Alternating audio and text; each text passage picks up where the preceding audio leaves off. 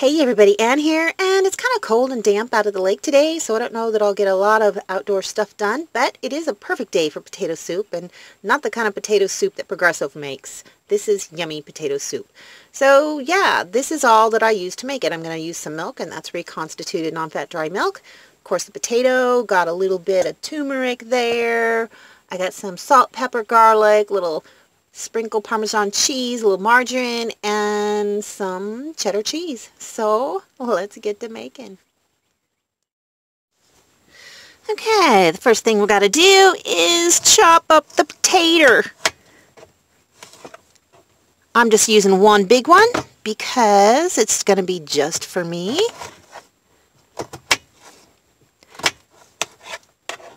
And I know you all know how to chop a potato, so I'm not going to make you sit here and watch me do the whole thing. But yes, I leave the skin on. I don't care if it gets all floaty in there. Um, but yeah, that's about as big as I chop it up. It's going into the pot.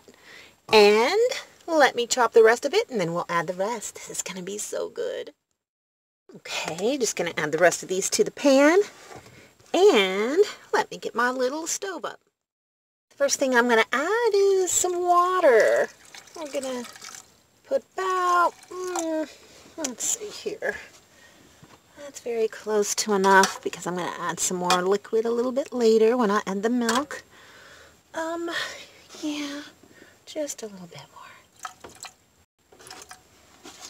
more. Okay, we're going to start this baby up. Hopefully I don't blow everything up. Almost. I'm going to get this to a boil. Um, turn that down a little bit. We don't need to set this whole place on fire. Okay, stir it, stir it, stir it. And next we're going to add a little bit of pepper. I love pepper. I'm going to have to get some more pepper too. I'm running out. That almost does it. I need to save some for the steak later today or tomorrow. And garlic. I'm going to have to get some more garlic too. I love garlic.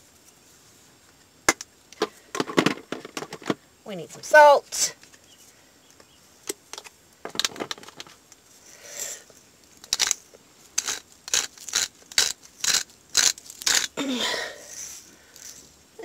Maybe just a teeny bit more because I don't have the flavor of a bone broth in there. And I always add turmeric to my soup, so we're going to add a little bit of turmeric. Might give it a, a weird color. I don't care. I do not care. It's just a little dash. Turmeric's very good for you. Let's give that a little stir. Maybe bringing this to a boil.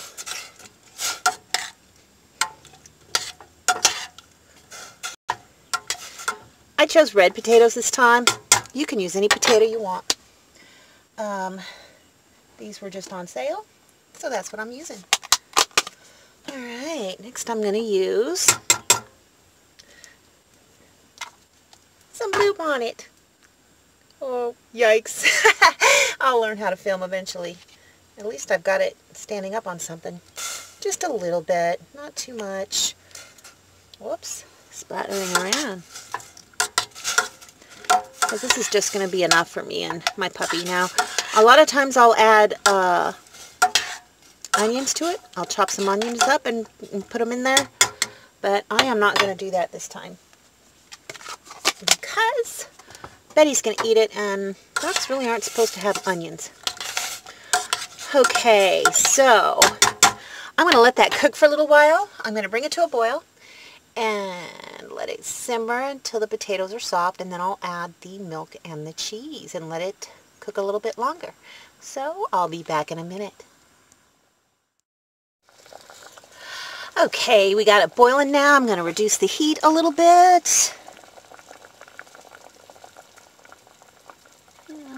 That's good. Give it a little stir. Put the lid on. And we are, oops, that's loose. We're going to let it simmer, I don't know, 20, 30 minutes, however long it takes. Okay, it's been simmering for a little while, and the potatoes are nice and soft. See, this is what I mean about floaty. I don't care. I eat them. I eat the peels, and it's just fine. Um, they got a lot of nutrition in them. Don't throw that those peels out. They're good for you. But yeah, see how it's it, the potatoes are, excuse me, nice and soft. So what I'm going to do next is I'm going to add my milk.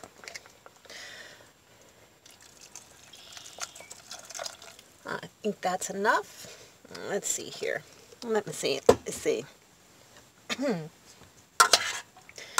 I go by look.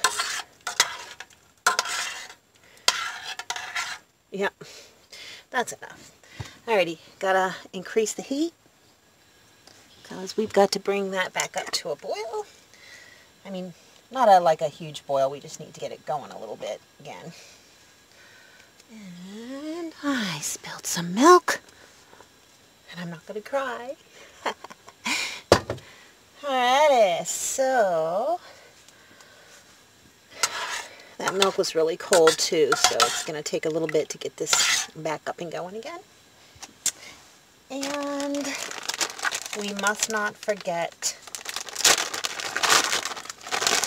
the cheese. You can never have too much cheese.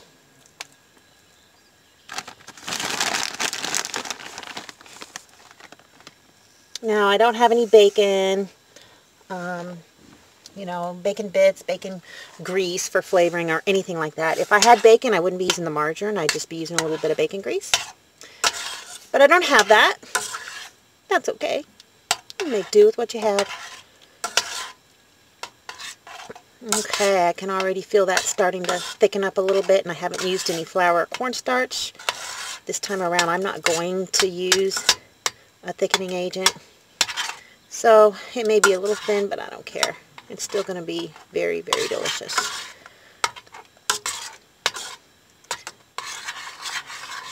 Alrighty. We got to bring that back up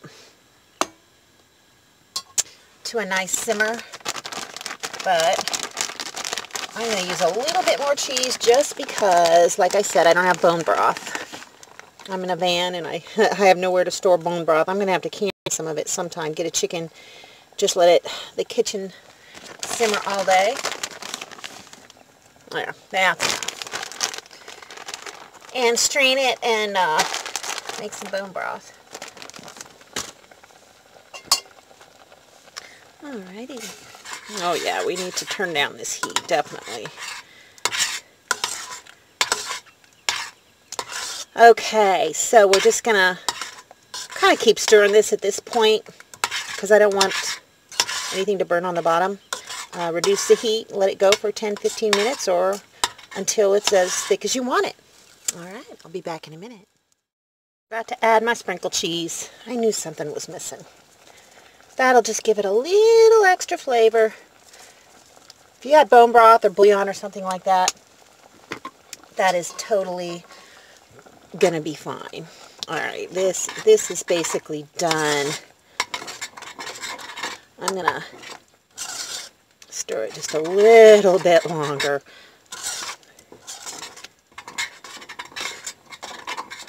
Oh, that's wonderful. Yep, I'm just going to turn off this heat. Stir it. Put it in a little bowl.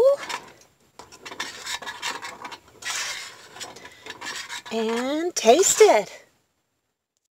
I think I'm just going to try and pour it in there a little bit. I could have cooked it a little bit longer, but I think this will be fine. Alrighty, can I do this without getting it all over the place? I think so. One thing I did notice is this cheese, um, it didn't separate exactly right, but it's okay. Um, it's an expensive cheese. And I didn't use a thickening agent.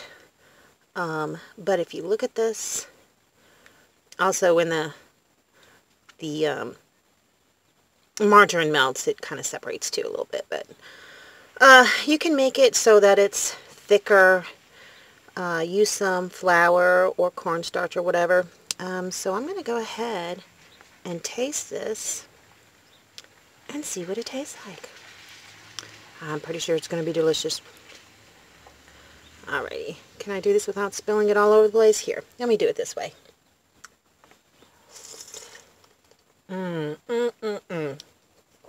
This truly is delicious. It is good. Um, I didn't have the most expensive ingredients. I didn't have bacon. I didn't have bone broth. All I had is some potatoes, some cheese, and a few sprinkles of this, that, and the other. And I have to tell you that it is just really, really good. So that's my potato soup. Uh, not the best potato soup I've ever made, but it is still really, really yummy. Mm, I gotta tell you guys, I shouldn't sell myself so short. This soup actually has a lot of flavor. Very, very tasty. Very tasty.